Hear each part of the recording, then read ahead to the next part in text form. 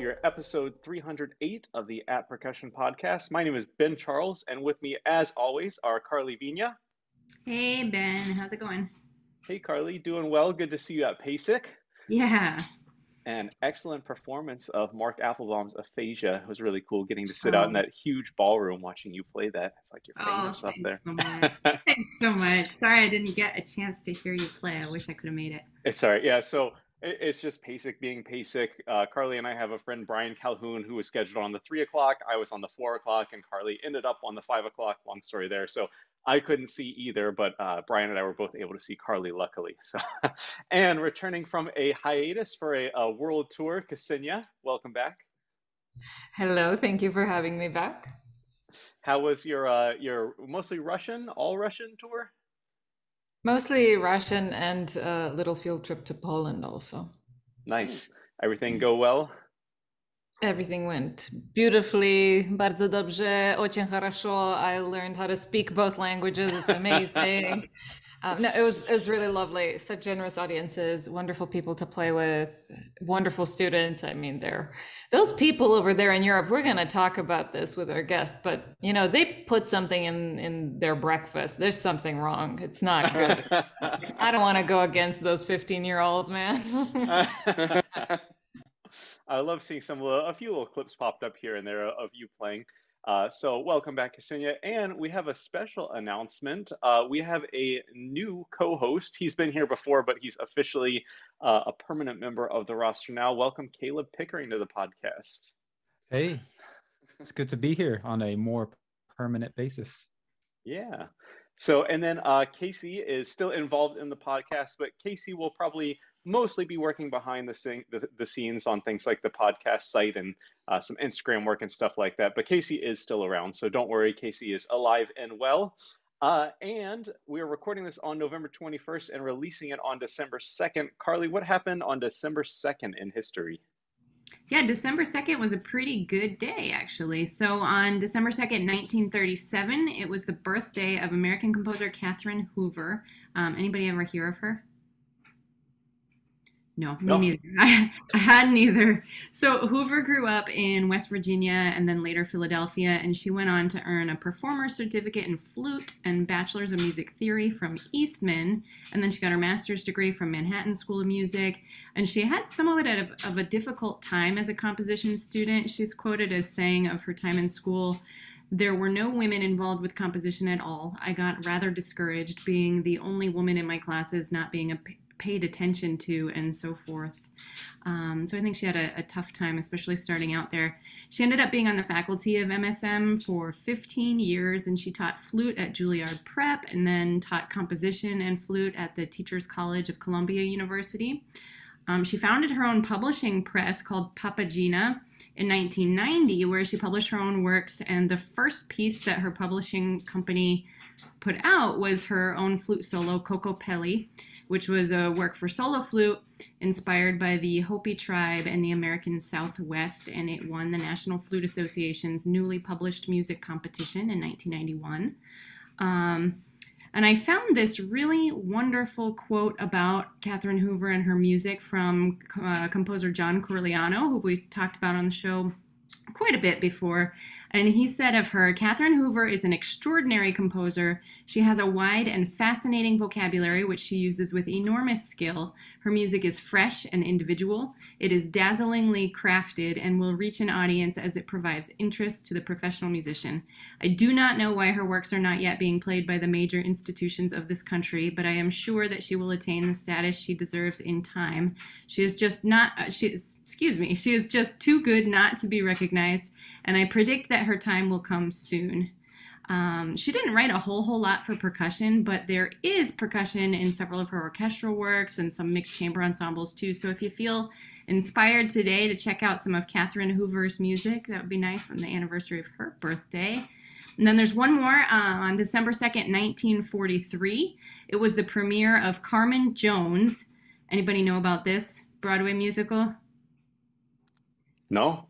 Cool. I found two two new ones. I didn't know about this either. It's a it's a Broadway musical adaptation of Bizet's Carmen, the opera. Um, the music was orchestrated for Broadway by Robert Russell Bennett, and the lyrics and the book were by Oscar Hammerstein, the second of Rodgers and Hammerstein fame. Um, Carmen Jones adapts the original opera to a World War II era African American setting with an all black cast, which was a big deal on Broadway in 1943. Um, the original Broadway production starred Muriel Smith and Muriel Rahn, who were alternating in the title role. And Robert Shaw was the one who prepared the chorus for the show. So, since 1943, the musical has been revived in London in 1991 and then again in 2007 and then there was an off-broadway revival in new york city in 2018 so pretty recently and i found a cd there's a cd available on amazon of a 1962 studio recording of the songs from the show so i'd be pretty curious to hear that awesome great job karli i hadn't heard of either of those things cool it was a good day for history yeah well, let's use this time to welcome our guest today, Manuel Leuenberger. Manuel is a uh, Swiss marimbist extraordinaire. He uh, is an award winning performer. He's often been featured as a concerto soloist, including the premiere of Emmanuel Séjourné's Magellan Concerto for multi percussion and string orchestra. He's been published by Edition Svitzer. He is a Marimba One artist, and he was my roommate in graduate school. Most importantly, so welcome to the podcast, Manuel. Thank you. Thank you so much for the introduction so and for you. the in, invitation. Yeah, same here. Yeah. Even though it's, it's quite a while. Just yeah, yeah.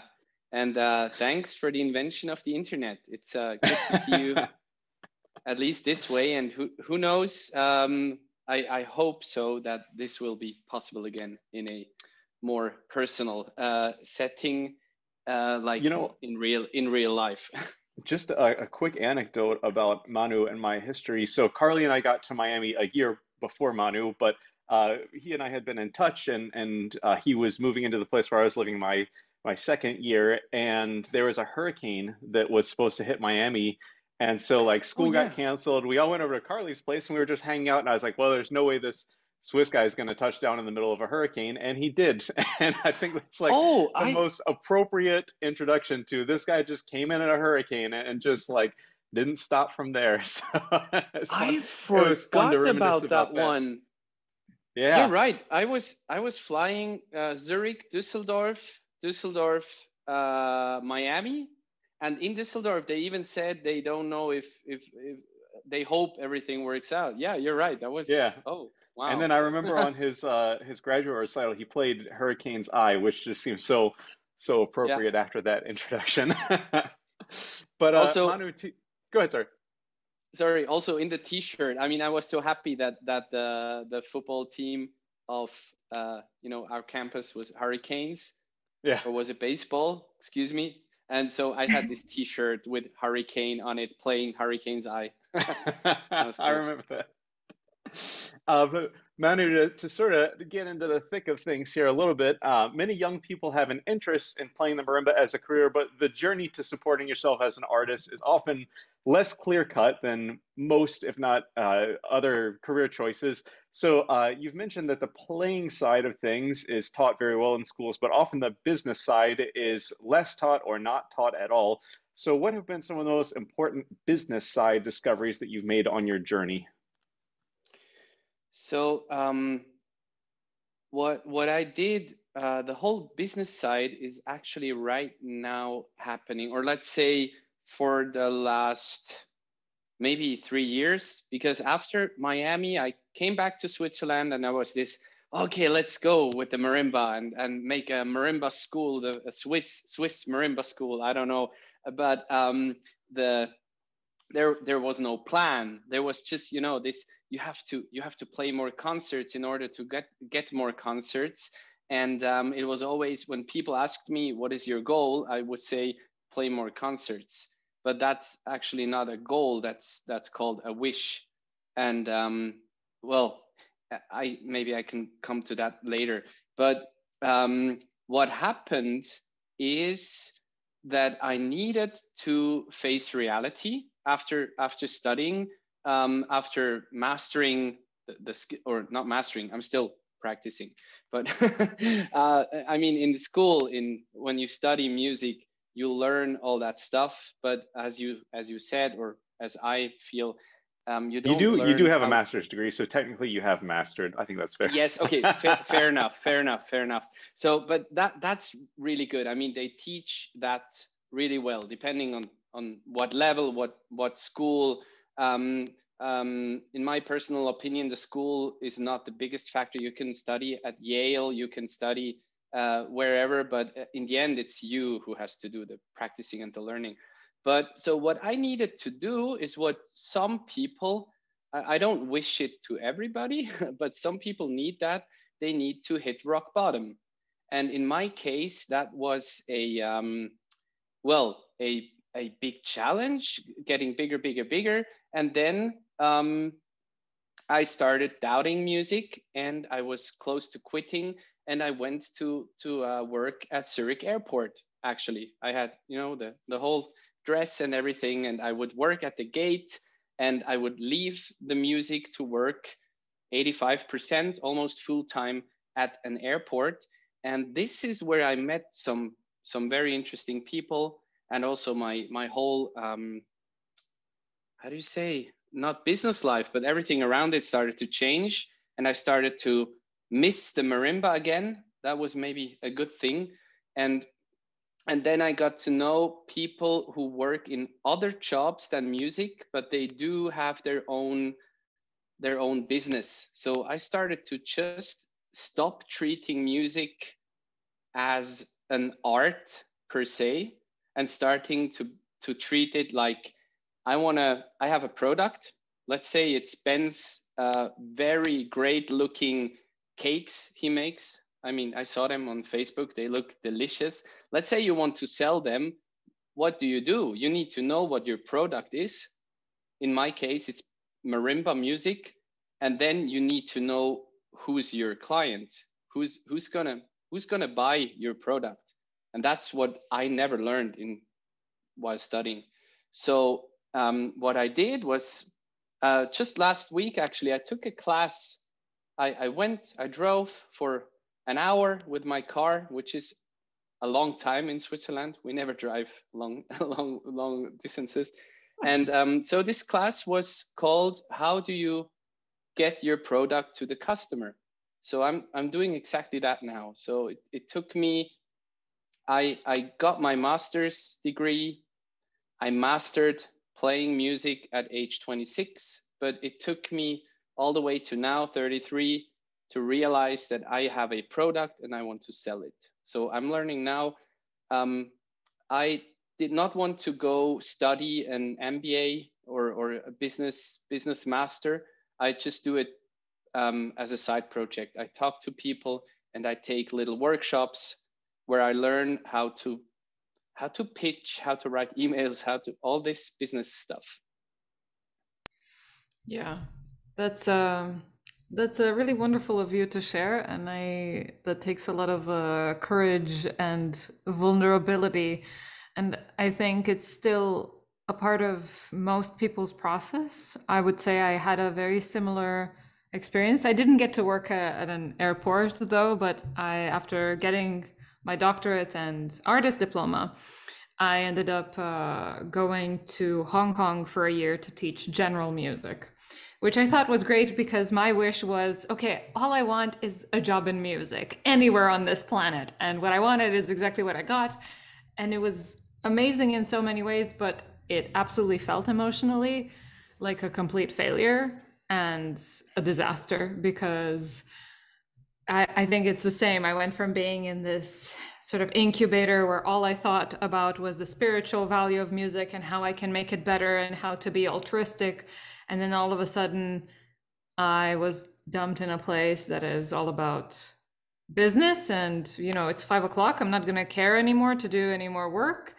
And money and surrounded by that kind of um, people it was really shocking. Um, but yes i think people do need to think about how are they going to make music work for them and how are they going to stop having shame around money and learn Mhm. how to make money because I think a lot of us do experience that.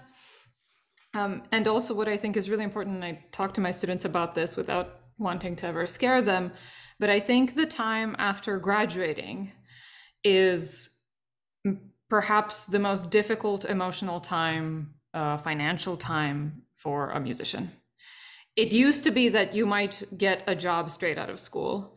And I think it's very rare when people do get a, I mean, for those who are going for like jobs, jobs. For other folks, it is an absolute like 180 degrees because you might end up doing something that has nothing to do with music and that might cause you to doubt yourself and so on. But Ben has a saying that he loves to repeat, and I'll let him say this. It's about how walls are there to test people, not prevent them from things. right, Ben? Yeah, it's uh, walls or brick walls are there to let you prove how bad you want something, something like that. Yeah. Yeah. Yeah. So I I think uh, it's really important to talk about this, and I would suggest that students go to their teachers and ask for very specific career advice and openness. This is something that I really try to do.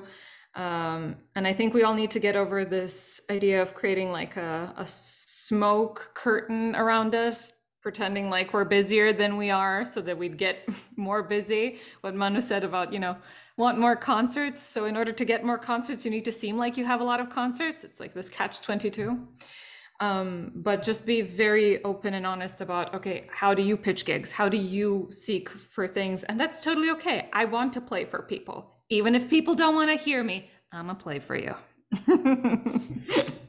Yeah the, the idea of having a business plan i think sounds so unartistic uh, and it's something that yeah. it, talking about money is tacky in western cultures and we don't like to do it but um, the amount of times I've heard a student say, "Well, after I graduate, I want to move to I want to move to Nashville and just gig, man." It's like that's great. How are you going to get your first gig? How are you going to support yeah. yourself until the gigs start coming in? So I, you know, totally get that. Um, well, Manu, speaking of like the business side of things, I know you've also, so to speak, diversified your portfolio beyond just being a performer, including you mentioned you did music production for a magician and you play at retirement homes. So, how did you get into these gigs and how have they informed your career path? Um, thank you. Great question. So, what I did um, after, yeah, no, uh, uh after you hit rock bottom, usually you're weak, but uh, after I regained some strength, um, what, what happened is also when you have you know that that song i don't know by whom and i just know this melody uh, little to win but nothing to lose. It's an old i don't know. It's just that happened to me. There was um, all this this shame everything was just gone mostly and also the shyness because people don't think that a lot of me but i'm actually super shy when it comes to selling myself or pitching but what no I one wants to ask for talk, money. Yeah.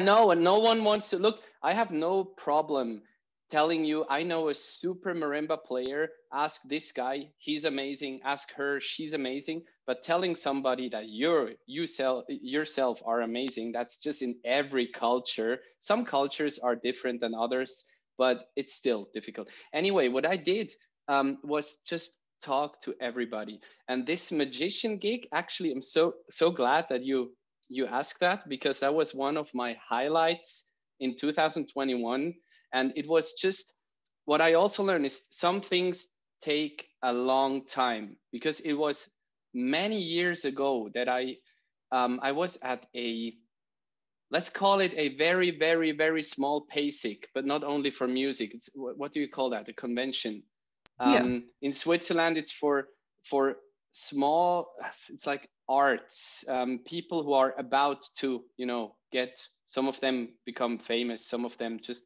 it's uh, where people meet to pitch. So there was this magician and i was just very fond of him because i love magic.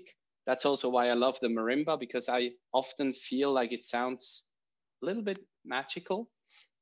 And um, what happened was two years ago i got to make a show with this same magician so I asked him, would you like to make a program with marimba and live and magic? And also we added a tap dancer. That was a crazy performance. We had a tap dancer, marimba, and live magic.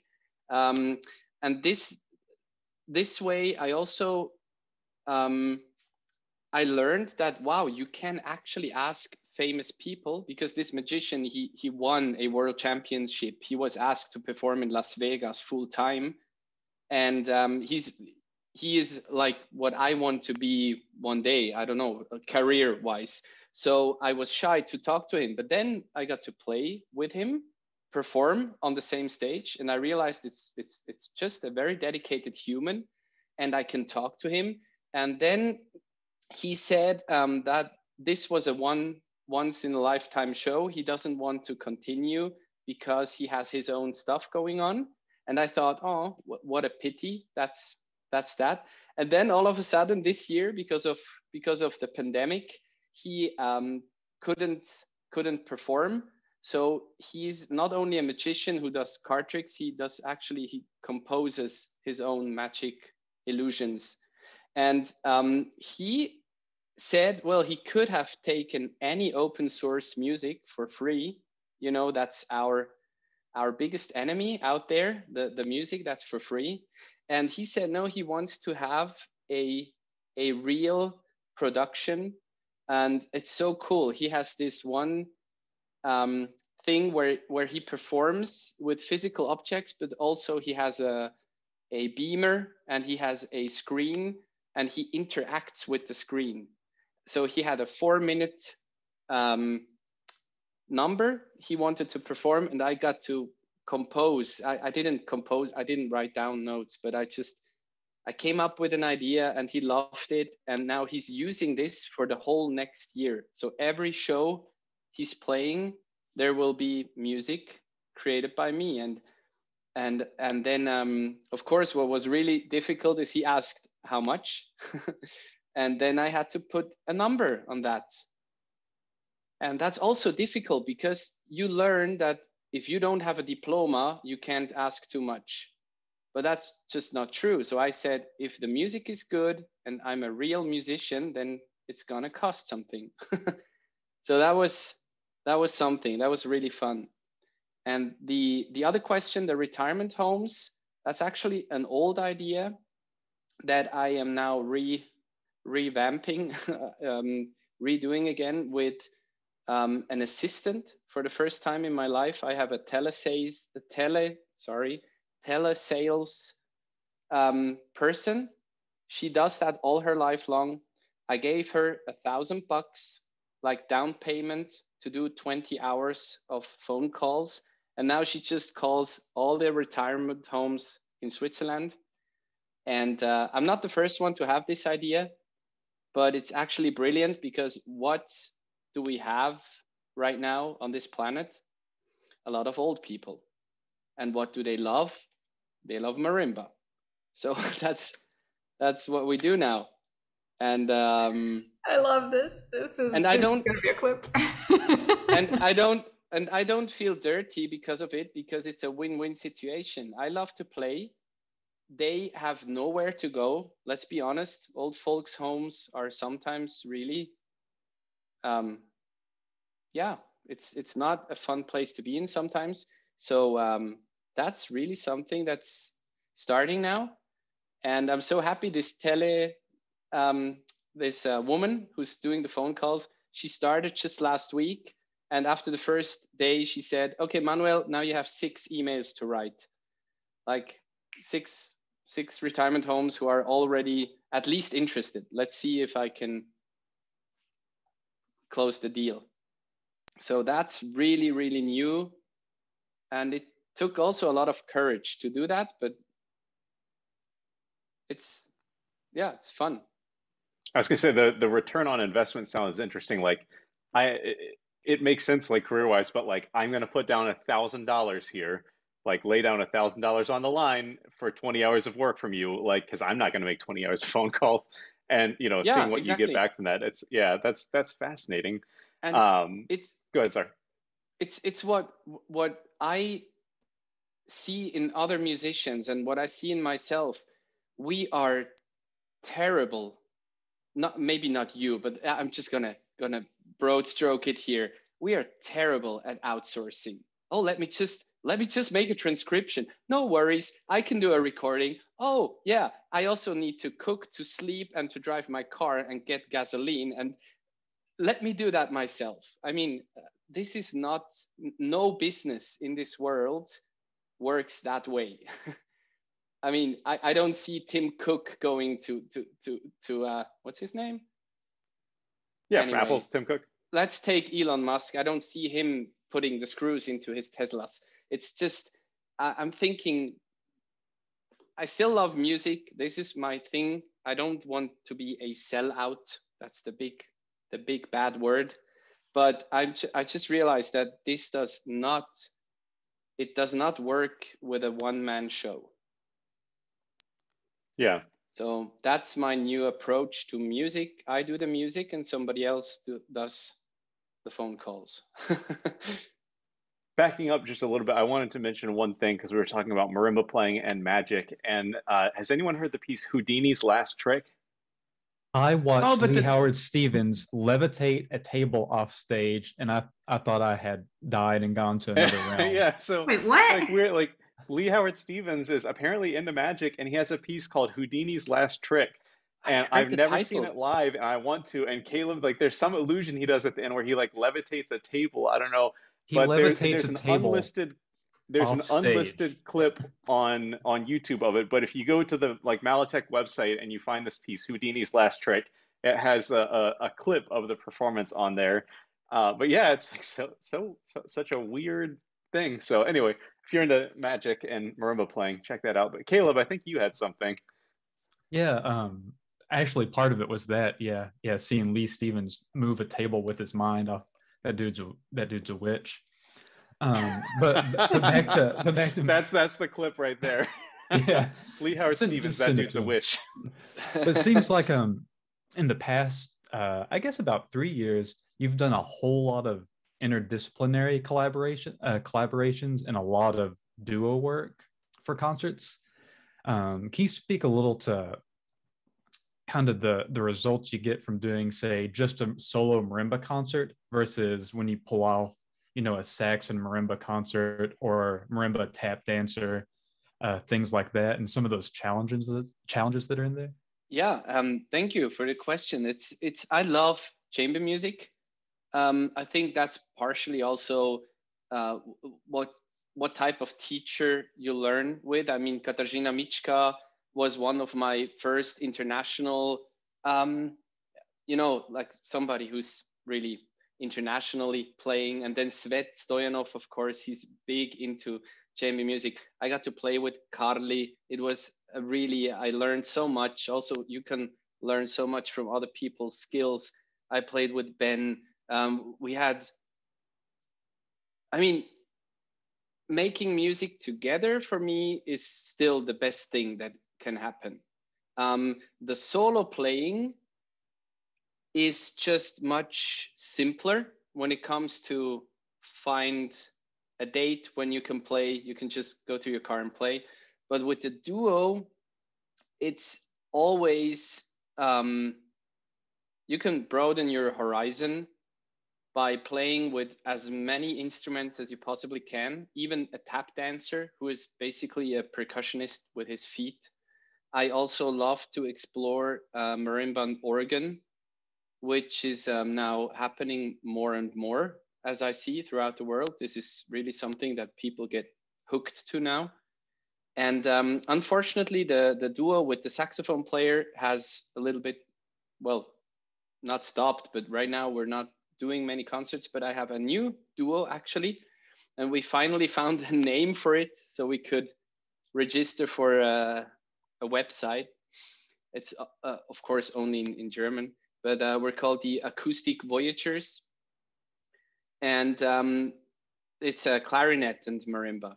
And that's really really also something that is um yeah it's just it, it gives me a lot to play a with other instruments and b with other people because they all have a new approach to the music you play I just, since I'm the guy that makes uh, weird connections, I was going to say also, if you're interested in, in percussion and tap dancing, mm-hmm. there's a great video of, I was trying to find the, the exact video, but it's Nexus performing in Tokyo with Steve Gadd they do Xylophonia by uh, Joe Green, and uh, Steve Gadd is a tap dancer in addition to a drummer, and he he tap dances on stage. It's pretty cool to see. Cool. yeah, so, it works. Um, well, let me pull my list of questions up here. So, uh, Manu, you have an active Patreon page, uh, and this Mhm. requires constant interaction with your listeners multiple times a week. Uh, on this podcast, we we share the duties of all the administrative work. So we take time turns booking guests and editing episodes and uh, making social media posts. But it seems like you have to do all this yourself. Um, and so, do you find this to be a stressor or a motivator? Do you have contingency plans for those weeks when you're traveling or have multiple live engagements? And can you just tell us a bit in general about your Patreon? So yeah, the the Patreon, um, I do most of it myself. Well, every everything that people see and hear, I do myself. What I got though is a huge amount of uh, support um, from my my partner, my girlfriend. She she does a lot of you know when I want to not quit, but when I feel like oh look, I I have to cancel the next episode, she said says come on do something do something. So th- she does a lot of work in that way. But yes the rest is um you know how it is to edit videos. I mean before the the pandemic i was just a musician. And now after the pandemic i have davinci resolve on my second computer that i had to get because the graphic card on my macbook you know how it is. Like um, video editing is a world for itself. And it, it is a lot of work. And for your question um, is it a motivator or a stressor? I would say 80% motivator and 20% stressor 20% as in i chose I, i'm new to patreon i knew about it for several years but i never got into starting it i, I needed a pandemic for that Uh, this is really true. I, I would never have done it without that. And um, I'm still learning and adapting, and I'm very, uh, I take it relaxed because I see other people are also just checking it out. And you need your MVP, you just put something out there, and you need to um, just not be shy to do bad bad stuff. I mean, it can never be really bad, let's be honest. But if it's not the best, then you just do better next time. So I just chose this model with um, fixed, you know, per month um, subscription. And yes, it is a privilege to live in Switzerland. Yes, people in Switzerland, they don't shy away from giving you 10 bucks a month, which in my opinion, this should not be a lot of money because um, when you eat uh, at a gas station, that's also 10 bucks. So, and it works really well. I did choose to make a video every Monday called Marimba Monday. That's not a new word, but it is what it is. It's Marimba Monday where I talk about what's happening. And then Wednesday, I do a improv Wednesday where I just, uh, I have now here everything set up. I can press the button and improvise. It's usually three to five minutes. And it's so cool that I just said, I'm going to do this every week because now what I have actually, this um, invitation to your podcast is brilliant timing because tomorrow is my one year anniversary on Patreon. So, of course, I uh, thank you. Of course, I put myself under a lot of pressure. I mean, now is Sunday. Uh, here it's almost over the Sunday. So tomorrow I will get up early. I will not sleep as much as I would like, but I'm gonna do it. I have um, yesterday I recorded for four hours. I had um, four costume changes. I just, I mean, just changing clothes. It's like in a theater. Um, and now I have an introduction, and I will do a little, um, you know, what happened, um, looking back through the year and then I have um, an outro. And yeah, it's it's a lot of work, but it keeps me going. And you know, one thing that you, one thing you said is like recording projects are always so daunting, and I'm sure it's one of those things like the more you do it, the more you just get used to it and it, it becomes routine. And yeah, like for me, a, a big recording project like is disassembling the instrument, moving it over to school, hiring someone to come and set up mics, and like, yeah, if it's all just set up right there, I'm sure it's a lot less Yeah. of a barrier to get over. And also, I mean, every time you do a recording when you start, like you sort of hate the editing process because you're like trying to remember how to use Final Cut and like yeah, and, yeah, like trying to figure out what how to make this cut work or whatever. And like, yeah, I'm sure the more you do it, the more it, it just becomes routine. Absolutely. Looking back, my first episode, um, I'm also going to share that tomorrow. By the way, the, the tomorrow, uh, the celebration, of course, will be open to the public. Usually it's just for patrons, but because it's a celebration, and um, I will probably also put in some little snippets of the the old episodes. And I mean, it's ridiculous. In the first episode, I was this close to the camera. It was bad lighting, bad lights um, I did subtitles, which is ridiculous. Nobody can read it that fast because I, I do it so far. I do it in Swiss German because I, I have Swiss patrons so far. This this is uh, difficult. I want to find international patrons, but I need to learn how to advertise it better. So um, and in the first episode, I did do a script. I made a plan, and it took me 16 hours to make my first Marimba Monday. And nowadays it's um, sometimes it's two hours. I just have a concert, I share it. Like last week, I played Peter and the Wolf, um, which is not marimba, but I just did it, so I just shared a video. And sometimes I do bigger projects. Also, due to the pandemic, sometimes nothing happened during a week, so I had to invent something. Um, so I learned to clone myself, you know, with the split screen. I did some Vivaldi where I play marimba and I whistle. I, I was going to ask about that. So I, I that's don't something sing- that obviously takes it takes planning to do that. But how like what's your first of all like do you just the idea just pops in your head and then did you like how how did you go about that? Um, sometimes it's really you drive your car or you're doing uh, your dishes and there's some new idea. And also, I mean, I have so many projects that I never started or never finished, and I have a shelf full of ideas. And sometimes I just grab something, and that was um, really easy um, to do the Vivaldi whistling and um, and playing marimba. And also that um, reminds me of wh- when I was younger.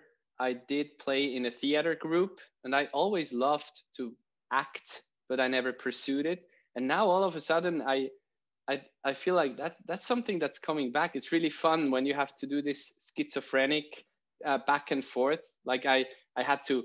You have two screens, and you bow here, and you bow here, and then you look to each other and say, "Good job, good job." And it's so funny because you and being a percussionist, maybe it's a little bit easier to do the timing, and uh, it's funny and yeah. I learned, I learned, I definitely learned more in this year than I did in the previous three years. It's uh, intense. I mean, learning what an interface is, learning how a um, ring light works, and and all that stuff. It's, Cool. Well, uh, totally changing gears from Patreon, but I remember you hearing you perform your beautiful composition Anna on I think your final recital in Miami, and Mhm. I was looking, and it seems like you haven't really published any more works. So could you tell us more about that work? And then also, do you have any plans to publish more compositions? hmm Um, I I do right now. I don't know uh, what's the next step in publishing. Um, as for this piece, Anna, um, that just literally just happened. I had uh, obviously there was an Anna to start with, and um, I was very unfocused because of that particular person, and um, I improvised on the marimba. You know, your instrument can be uh, really good counsel or psychiatrist or whatever. So I improvised, and it started to become music, and it, I started to to like it, and I had the courage. Oh, I had a project, another project where I recorded O Magnum Mysterium by Marcus Paus. You know that beautiful piece. Yeah, with um, choir. I think I saw that on your yeah, website. with choir. With choir. I I love that piece. So um, we recorded that, and in the end, I asked the sound engineer, "Can you record Anna?" And that is the the only recording in my life that I did a one take. It's just a three and a half minute piece, but still, it's a one take, and it's just the best version uh, I, I played of that piece. So I took this recording and sent it to Johan Svitzer, who I got to know in uh, ICMA, in the Katarzyna Mycka Academy. And he just wrote back that he listened to it 10 times and he would like to publish it. So that's how it happened. I never this is a recurring phenomenon in in my life and in the life of many people out there is that when you least expect it then good things happen but you have to have the courage to go out there and um, then i don't know if i i took the promotion for granted or i was just not big into uh, i would never want to have to earn money with composing I mean, it's a, it's a nice thing to do, but if you want to make a living from that, that's that's way harder than performing. And um, I did get back to Johan Svitzer to ask him if he would like to publish my transcription of the D minor concerto by Bach. Um, and he said that's too big of a work. And then later on, he was too busy, I guess. So yes, I do have plans um, Katarzyna Mycka uh, said I could maybe um, get get uh, Fluss der Zeit. It's a, an, another piece by me published uh, by Norsk, but I would have to write it down first. so that's the big part. Yes, I do. Small plan- obstacle, yeah. yeah, and there's also, I mean, now we're in in a in these times, a lot of things are changing. People are self-publishing their music on Spotify. And also, I mean, for example, Ney Rosauro, who has all his music on his own page. And I'm not sure if the future of publishing is really via the big publishing houses or if you just want to self-publish.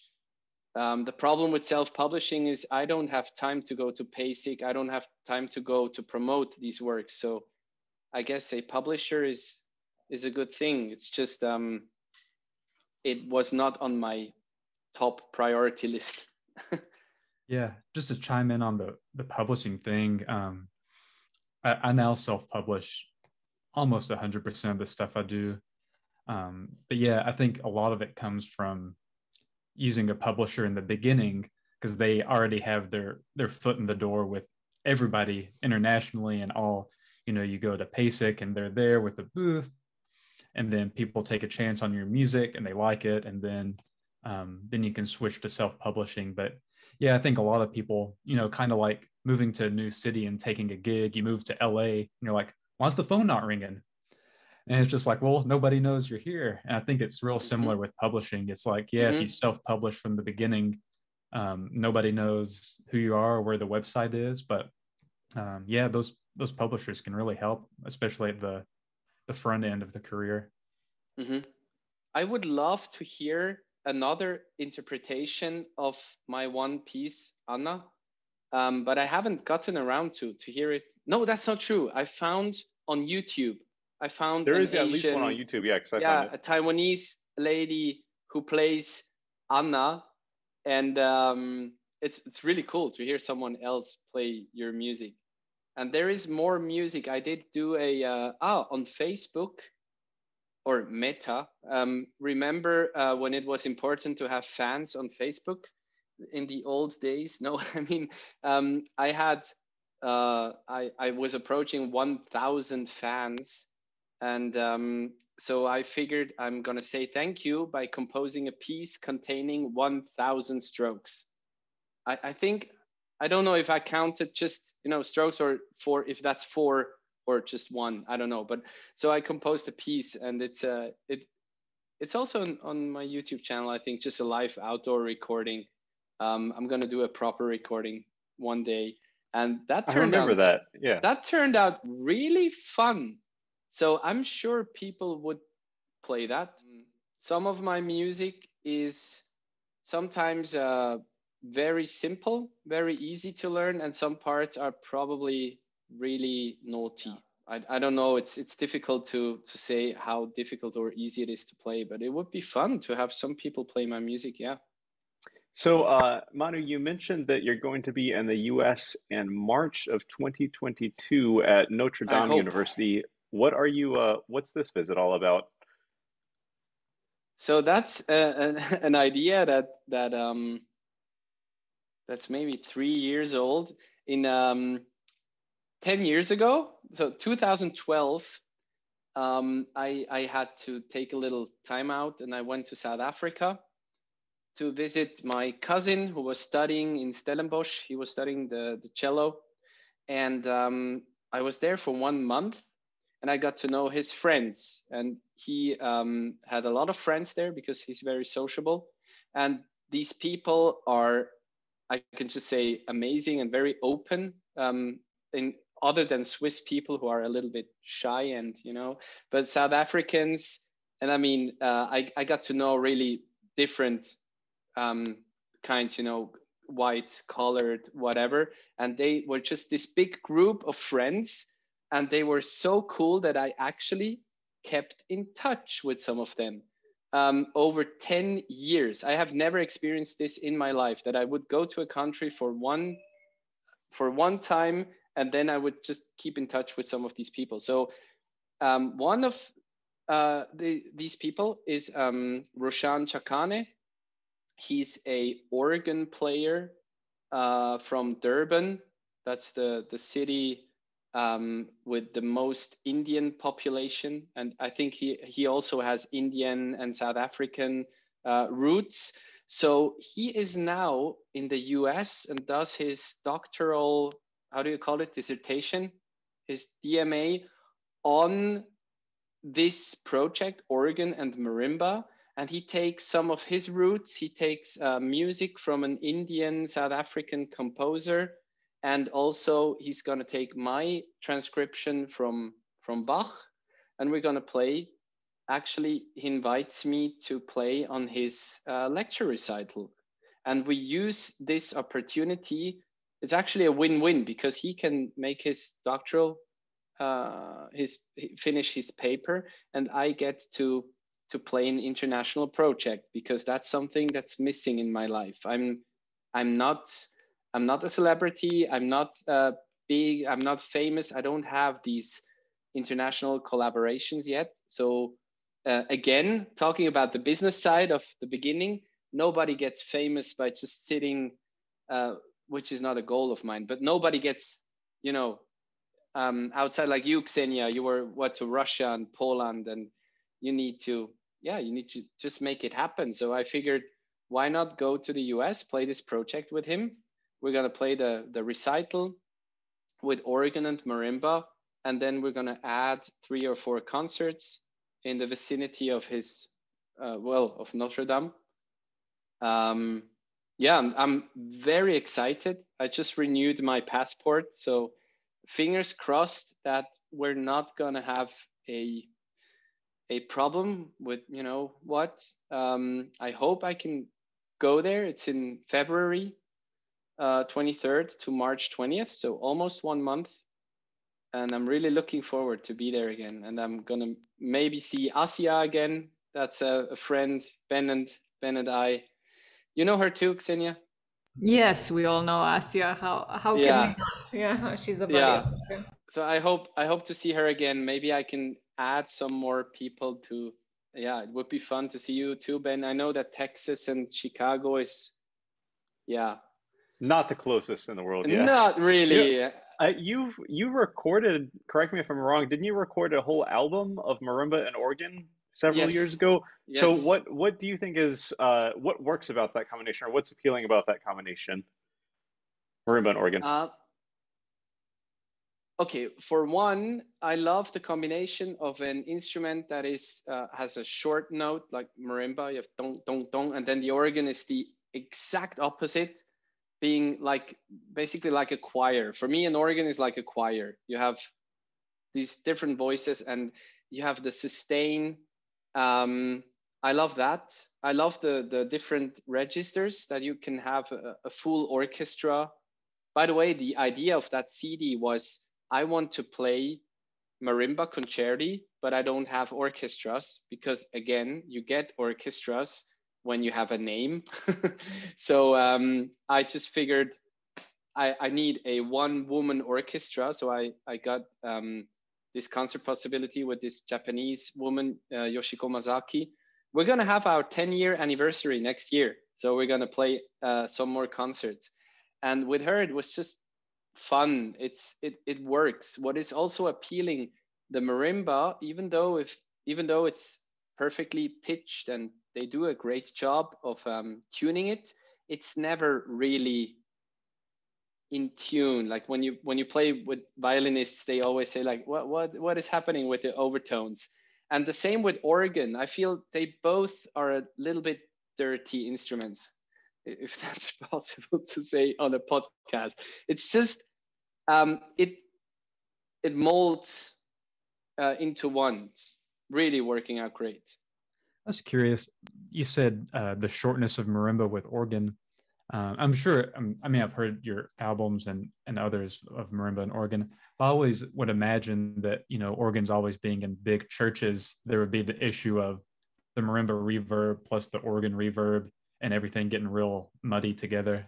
On on this recording, of course, we had. I mean, you can put you can place the microphones mm-hmm. really close to the organ. Of course, it's different when you play in a big cathedral probably gets a little bit uh, what did you call it muddy uh, we mm-hmm. also had this um, you know when you play with organs they are usually on a uh, balcony and sometimes the, the marimba doesn't fit so we also had this situation where we would play um, she would play here and i would play 20 meters uh, away and that's a great experience by the way you have to learn that the the audience who's in the middle has to hear both at the same time.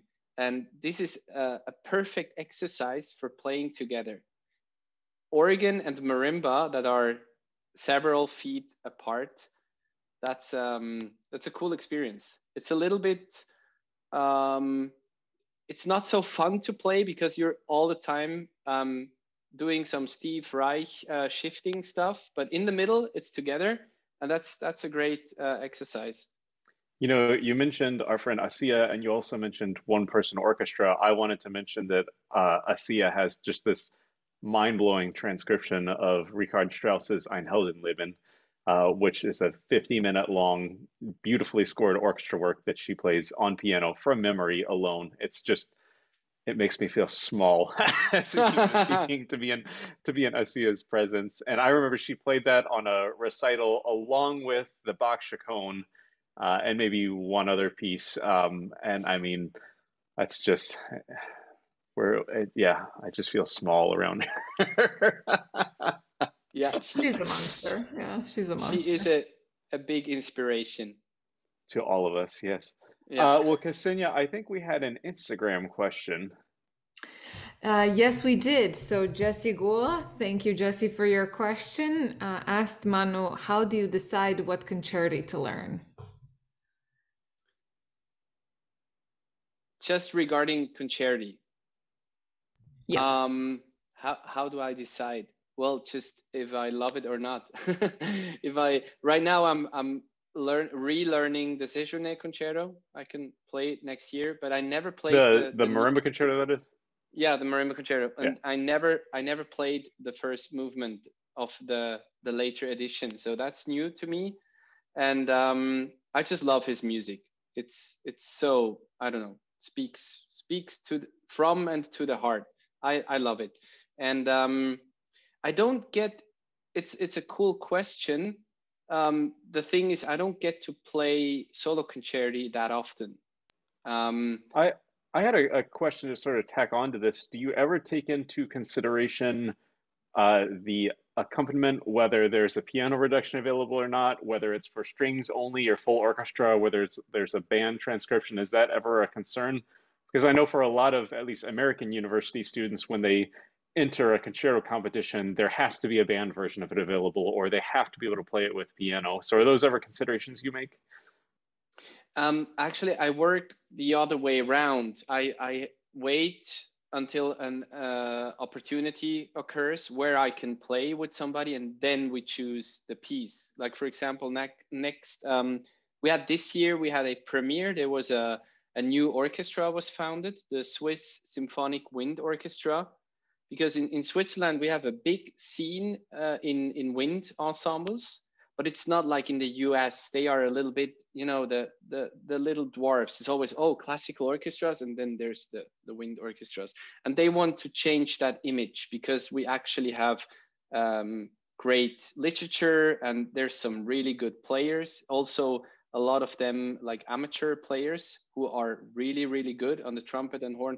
So they founded this orchestra, and I played in the percussion section, and I used this opportunity again business thinking to just talk to the conductor and ask him if we could do something with marimba and this orchestra and because it's the swiss symphonic wind orchestra they um, they uh, have to or want to play swiss compositions and since there is no swiss composer who has composed piece for that setting we're just gonna make some adaptation uh, transcriptions and then that's how I choose. It's not like I'm sitting in my practice room and I feel I want to learn Alfred Reed concert or I want to learn.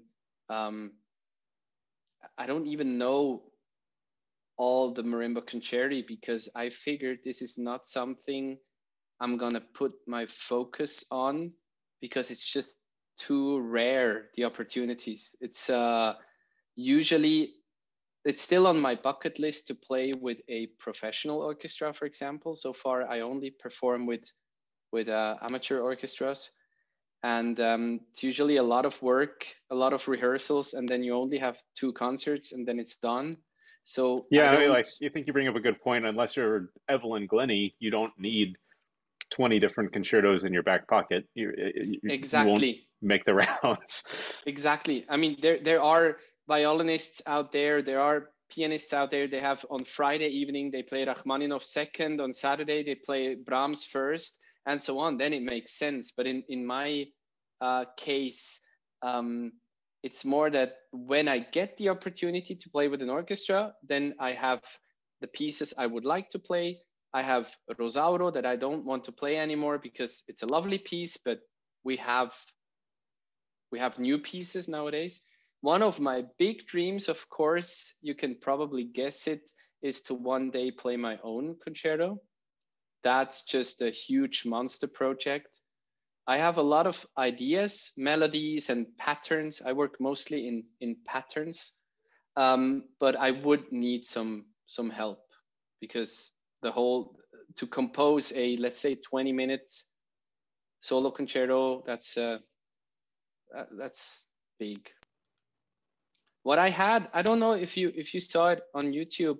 I had in 2018 uh, a friend of mine composed a piece for orchestra marimba, and he did that based on a poem by another friend of mine, and it actually turned out really really cool. It's uh it's on what's it's on YouTube. Is it just concerto for marimba and orchestra? The composer's name is Simon Scheibiller. Okay, cool. Simon, Simon.